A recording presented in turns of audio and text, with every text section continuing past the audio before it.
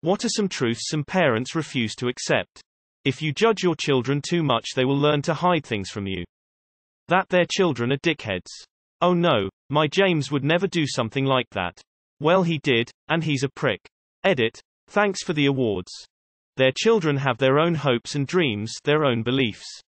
A very good friend is leading an entirely second life to keep her mother from controlling her or belittling her decisions. It's very stressful to not encourage their children to find themselves. If your kid needs help, speech therapy, tutoring, medication, occupational therapy, ECT, it is not a reflection on you personally. Sometimes kids struggle. That's okay. Making sure your kid has all the tools they need to succeed is your responsibility as a parent. Your oldest child is not your younger children's parent. Above all else, you should be the safest person for your child. You should make it safe for them to be themselves. You should make it safe for them to have bad days or bad emotions. You should make it safe for them to exist. Because if you don't make it safe for them when they're a kid, it's really hard for them to find safety in themselves as an adult. There's a time when you need to let your kids make mistakes, so they can learn from them. Life is pretty short, so if they have a goal, let them go for it. That you don't get to relive your life through them. You as a parent are responsible for teaching your kids proper manners and common decency. Not their teachers, tutors, babysitters, etc. I briefly worked as a Japanese teacher and I was surprised at how little some of these parents were involved in their kids' lives and expected me to address all their problems during the short few hours I had them for the week. Your child's mental health doesn't care about your worries of looking like a bad parent if you get them help. It will continue to get worse the longer you neglect them. Spoiling your kid too much can leave them really unprepared for the real world. They can end up really useless, or a complete asshole who genuinely thinks the world revolves around them. At some point you need to teach them they aren't king, queen of the world, they need to fend for themselves eventually. You can be a good person your entire life, and still have a shitty life. This is probably the most depressing. Apologizing won't kill you. It's better to be respected than feared. Your kids can have different opinions than you. You can be a parent and a friend. That some kids can't help them with some of their struggles, hardships. And that some kids have depression and it may not be a phase. The older your children get, the more autonomy you need to grant them. The fact that just ignore the bullies isn't going to work. That there comes a point where your kids grow up and you will start to see them as peers, sharing stories that are vulnerable, asking for advice. But once you do that, you're not the boss of them anymore. You can't talk about your bad sex life with your adult kid while also ripping on him for not finishing college or whatever. That when kids grow up, they will enjoy spending time with you if you treat them like a friend. They will not enjoy spending time with you if you continue to act like an authority figure or someone who knows better. That sometimes their kids have valid opinions and instead of interrupting them and pulling the, because I said so, and, that's just how it is, cards, they could listen to their child and make them feel heard instead of suppressed.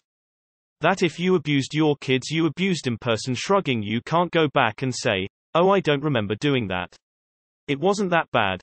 To a traumatic memory your child, grown or not, has brought back up because that memory never fucking left them. That your children may turn out completely different to you different interests, different hobbies, different ideologies, different religions. Don't get pissy at your kid because he likes reading instead of football. That no amount of yelling or punishment will make a child with ADHD into a better student. Your kid doesn't ever really belong to you. They are just another human who has their own life. You're just responsible for helping them figure out life. Some parents need to accept that a whole day of shopping with the little kid isn't realistic, and that instead, you just need to do what you can and take them home if they're screaming and crying, especially if they're little. Little kids especially have a limit. They won't be able to handle a full day of shopping for a while. Don't push the kid to the point of screeching, screaming, and crying and expect him to continue. It makes them, you and everybody else miserable. Too long did not read. Just take your kid home when they're tired. That their kids are little shits and not angels. We don't owe them grandchildren. That when you abuse your children, you can't give their life back. They will know you for taking away their childhood. Hold up, this is one of my first posts, and it somehow has roughly 600 upvotes and a silver award, only after 4 hours after posting it. Thanks guys. Wait what another silver award and a bunch more UPVOTES thanks.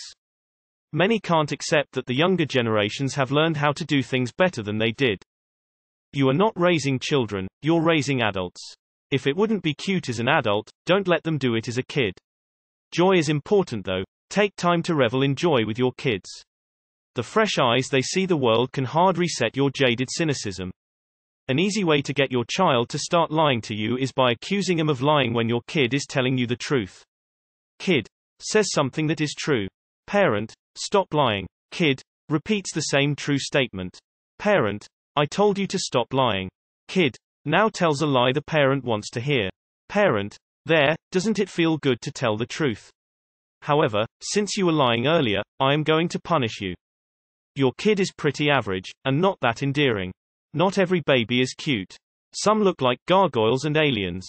Your words hurt. If I finally hurt you with words one time, then take a wild guess who I learned that from. That piece of entertainment is not going to change your child into a criminal.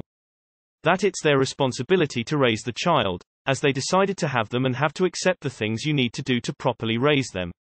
It's not the child's fault that they are there, they didn't have a choice. The parents did. Just because you did your best does not mean it wasn't still bad and or a traumatic childhood. Source 26 years, oh with a mom that hates I go to therapy because she did her best. Your lovable little scamp is someone else's evil little shit. Your children are going to grow up one day. They're not gonna be your little angels forever. That they are the ones who demanded participation trophies, not their kids. They just don't want anyone else's kid to get one. Respect is earned, not demanded. They don't know their kids as well as they think they do. You can't make us good by hitting us. There is no obligation your kids love you just because you are their parent. That giving them attention is actually good for them and not bad. Kids need affection and to be shown they are important and that does not mean they are being spoiled. I didn't ask to be born. So stop acting like I should be grateful for life. That having intelligent children does not mean they are obligated to use that intelligence if it doesn't make them happy. Hitting your kids is domestic abuse. That thing aren't the same as they were when they grew up. I'm so tired of explaining to my boomer parents that I'm not wasting my money on a luxury apartment. 1800 per month is the new norm for where I live. I have an average apartment and am paying average rent. They somehow don't realize that rent is no longer $600 per month. Your kids don't owe you anything, they didn't ask to be here and lauding. I fed you, clothed you, put a roof over your head. Every time you want something your way is a sure way to end up alone in your old age. Also when they grow up and get in relationships it's not your baby anymore. You don't have the right to harass, vet their partner, stay out of the way and mind your own business. Having kids does not guarantee that they will take care of you when you get older.